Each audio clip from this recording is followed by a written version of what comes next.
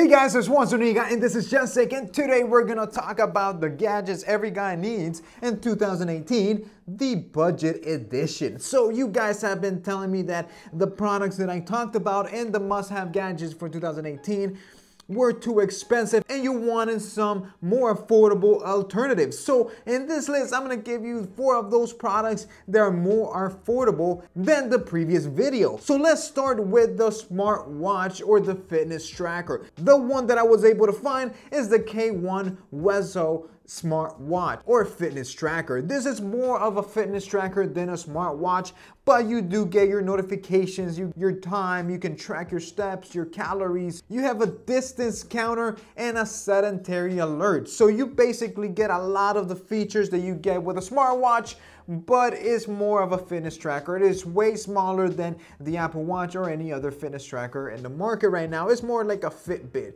type of thing. This one you can get it for around $30, so it's very affordable compared to the Apple Watch or the Fitbit Blaze that you get for $200 or the Apple Watch that you get for around $400 or $500. So this is the best bang for your buck that you can get. This thing even has a sleep monitor and it is waterproof. It is IPX7 rated, so you don't have to worry about it if it gets wet. So for the price, it is a must have. All right, so now let's talk about the second product. The second product is the alternative to the Bowers & Wilkins PX.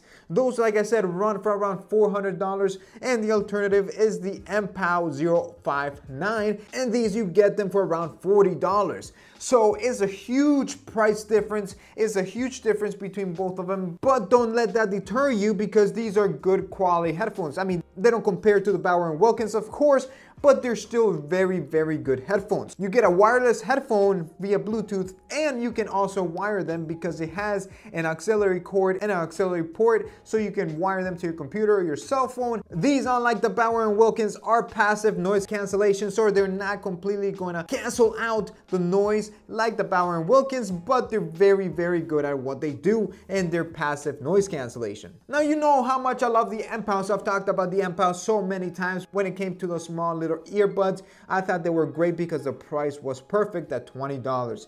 Just like those, these are perfect at $40. They fold and you can put them in your backpack and they're 40 bucks. I mean, it's not like they're cheap, but if something happens to them, it's not gonna hurt you as much as spending $400 like the Bowers & Wilkins. The looks of these are not as good as the other ones, but they look pretty darn good. They look, they're solid, they look good, they're comfortable, and they're wireless. So you have nothing to lose for 40 bucks. Check them out guys, I'll have the link down below. All right, the third product is the alternative to the Sonos One speaker. The Sonos One speaker runs for $200 and the alternative is the Fabriq and this one runs for 50 bucks. Yes, $50 for a speaker. I mean, it is not the same size of the Sonos One, but it's nice and compact that you can take it everywhere. And the great thing about this one is that it's 50 bucks and you can connect up to 10 of these speakers all working together so you can have them in different rooms. And the great thing about it is that you can play the same song in all the speakers or you can play different songs and different speakers. And just like the Sonos One speaker, this one comes with Alexa integrated just in a smaller package and at a smaller price.